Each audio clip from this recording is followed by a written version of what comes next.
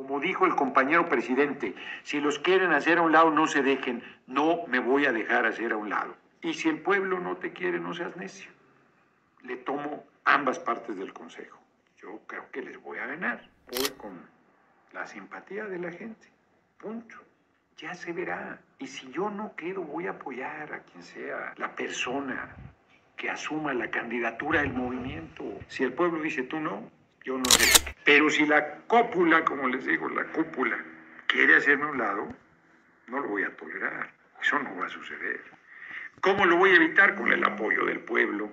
Pero yo no sé por qué les da tanta rabia a algunos disque compañeros del respaldo que tengo. Si no soy de Morena, pues no les voy a ganar, ¿no? Pues si Morena es la fuerza. Entonces, si yo no soy ya, vale automáticamente. ¿Qué, qué les preocupa?